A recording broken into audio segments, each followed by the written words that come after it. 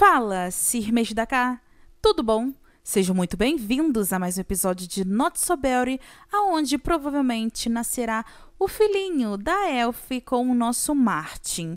Cá estamos na sexta-feira, bem cedinho, e o nosso Martin tá aqui só na flexão, enquanto a nossa Elf maravilhosa tá jogando xadrez, porém ela vai precisar ir no banheiro e também tomar um banho. São seis e meia da manhã e eles estão acordados a essa hora porque chegou as coisinhas do quarto do bebê. Vou mostrar para vocês. Como vocês sabem, nós temos um quarto de criança pronto praticamente, mas não tinha nada para recém-nascido, para bebezinho e tal.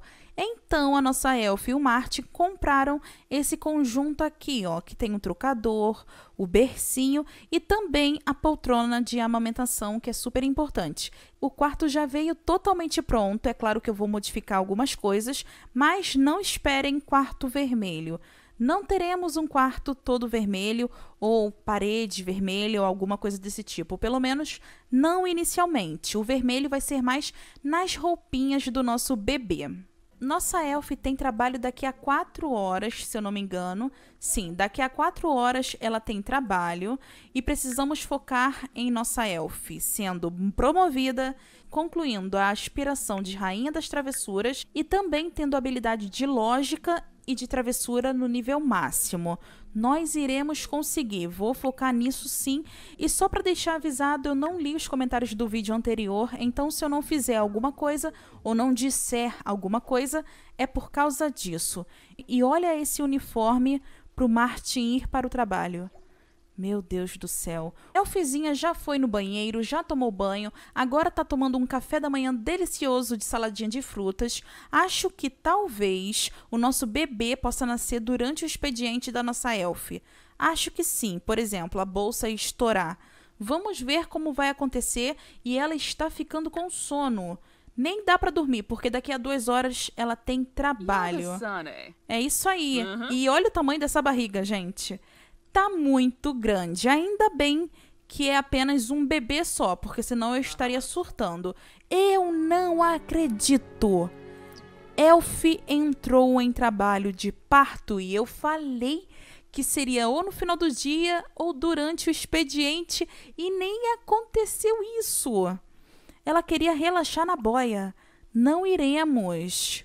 Tenho que levar a Elf para o hospital, mas antes eu vou chamar o Martin sair mais cedo. A bolsa dessa mulher estourou. E, gente, se vocês escutarem crianças, cachorros, alguma coisa desse tipo no vídeo, é por causa da quarentena. Oh. Então, tá oh. todo mundo em casa do condomínio.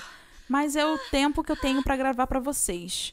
Martin já chegou e agora sim, gente, eu vou tentar levar a Elf pro hospital e a gente se encontra lá. Se o hospital estiver cheio, a gente se encontra em casa.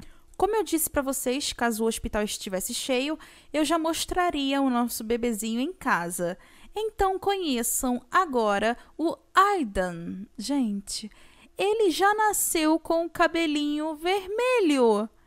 Que coisa mais linda!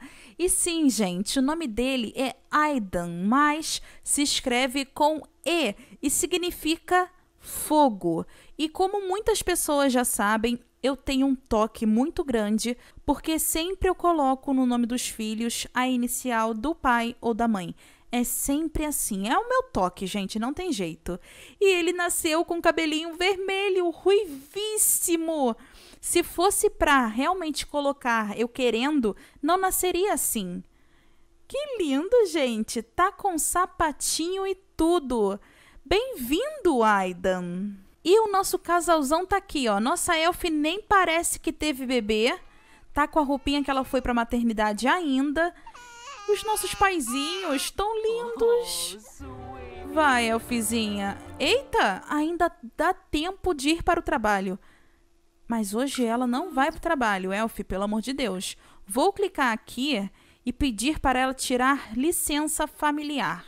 E o Martin também para poder ajudar a Elf em casa. Isso, tira a licença maternidade e vamos amamentar esse bebê, o nosso Aidan. O nomezinho dele se escreve assim, ó, gente. E-I-D-E-N. E o nome dele é muito lindo. Aidan Burkt Hexa, talvez? Porque eu não sei pronunciar o sobrenome do nosso Martin. E Martin, troca de roupa porque ninguém merece esse traje.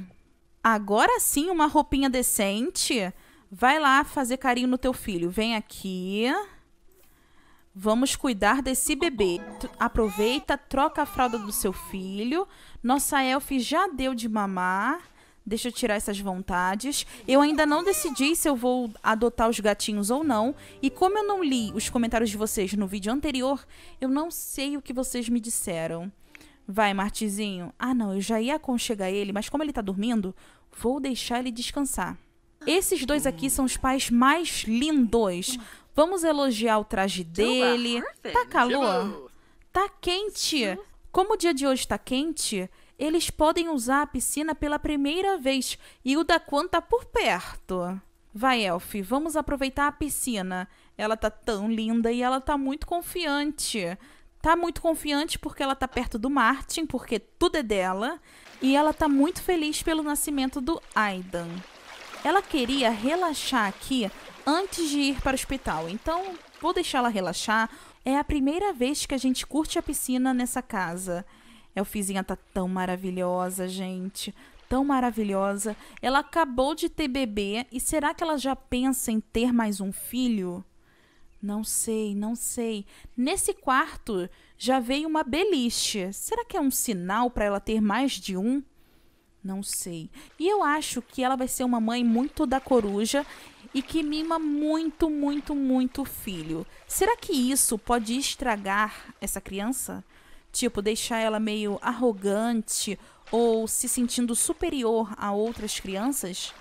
Não sei, gente, mas futuramente nós iremos saber. E se você gosta dessa série, não esquece, clica muito no gostei. E isso também em homenagem ao nosso Aida, né, gente?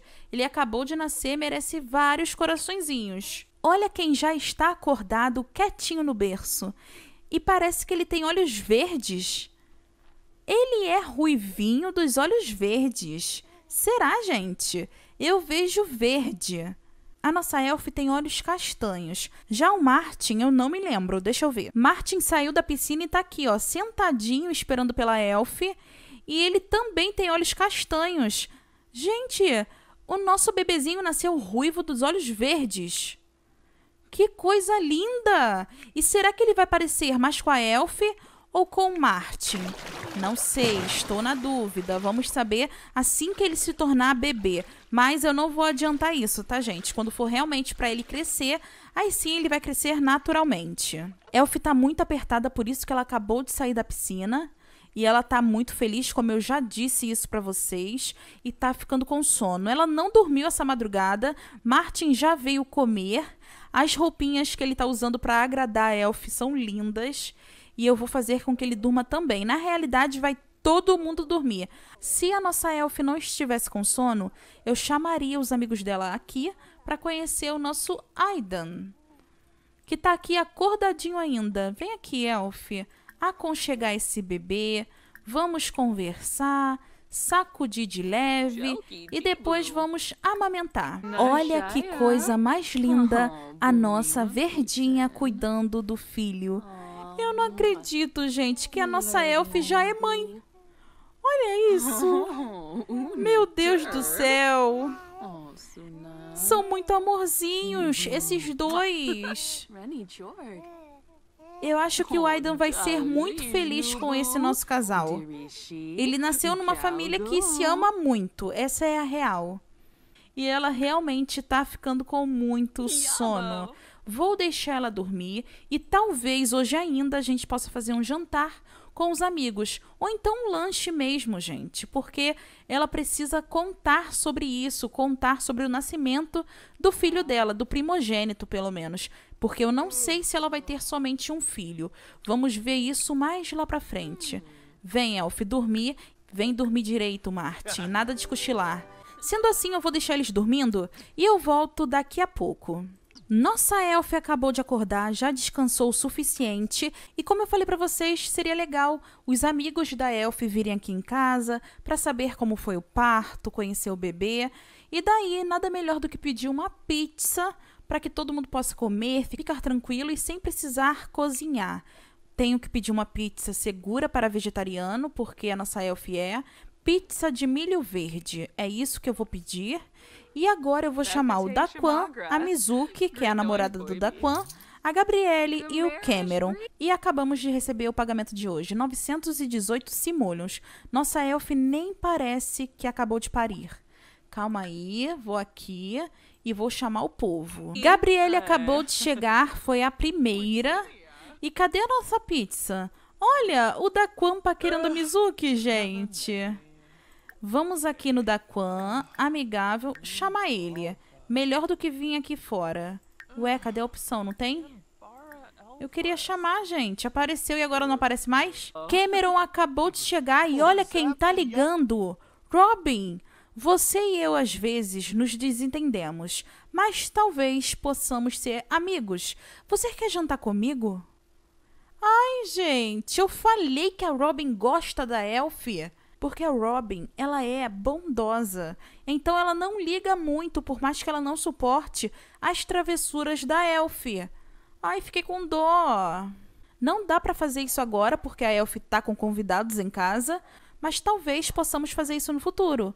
Fiquei com dó da Robin. Gente, a nossa pizza tá demorando. Então eu vou pedir pro Martin vir aqui, ó, chamar todo mundo para comer sanduichinho. É o jeito, porque senão a gente vai ter um treco de fome. E o nosso bebezinho tá dormindo? Aidan tá acordadão. Eu acho que dormir não é o forte do nosso bebê. Eu acho que não. Nossa elf tá tão linda, gente. Todo mundo comendo sanduichinho. Ainda bem que deu para todo mundo comer. Eu pensei que não daria. Tanto que acabou, porque só tinha exatamente seis porções. Deixa eu colocar aqui. E ela tá reclamando compartilhar inseguranças. Eu acho que ela tá insegura em ser mãe. Por isso que ela tá compartilhando isso com o Daquan, já que ele é o mais velho. Ai, gente, nossa elf tá preocupada em ser boa mãe. Vamos conversar com a Gabriela, alegrar o dia dela. Vamos no Daquan, travessura. Vamos assustar. Vamos aproveitar para fazer brincadeirinhas. Nossa elf tem que aproveitar esse tempo para poder subir a habilidade, não tem jeito. Hum, descrever apocalipse e a nossa pizza realmente não chegou. Que absurdo! Que triste, gente, mas pelo menos fome a gente não passa. E a Mizuki tá aqui, ó. Entediada? Eu acho que tá entediada sim entediada com a conversa que ela teve com o Daquan, porque os dois estão do mesmo jeito. Vou fazer a Elf abraçar a Mizuki, porque eu acho que ela não cumprimentou ela. E, gente, o Aidan realmente não quer dormir. Já são dez e pouca da noite, ele já tá alimentado, limpinho, trocado. Nossa Elf já conversou com ele e ele não quer dormir. Ok. Vou fazer esse povo todo assistir um filme. Olha que lindo, todo mundo assistindo ao filme. Uns conversando, uns em pé, outros sentados. Elf tá irritada com alguma coisa que eu não sei, mas tudo irrita ela, então é normal. Ai, gente, tão lindo. Esses daqui realmente são os amigos da nossa Elf. Cameron tá namorando com a Gabriele, como vocês já devem saber. Mizuki, namorada do Daquan. E o estranho é, o Daquan é pai do Cameron, mas Tá ótimo, são amigos da Elf de qualquer forma. E a nossa Elf já veio cuidar do Aidan, sem eu precisar mandar. E ela tá no nível 2 na habilidade de criação. Ai, gente, ela tá sendo uma boa mãezinha. Vamos aqui amamentar. E ele se torna bebê, gente, domingo. Domingo ele já se torna bebezinho. Um bebezinho ruivinho, muito do lindo, que já nasceu realmente ruivo. Ai, gente, sério, eu amei conhecer o Aidan. Muito. E eu acho que eu preciso colocar mais iluminação nesse quarto, aqui nesse cantinho, alguma coisa desse tipo.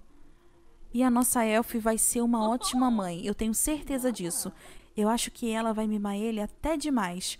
Bom, gente, já vivemos grandes emoções no dia de hoje e eu espero muito que vocês tenham gostado. Não esquece, clica muito no gostei, compartilhe esse vídeo com seus amigos. Caso você ainda não seja inscrito, inscreva-se porque aqui tem vídeos novos todos os dias às 5 horas da tarde. Um beijo até a próxima aí. Bye bye.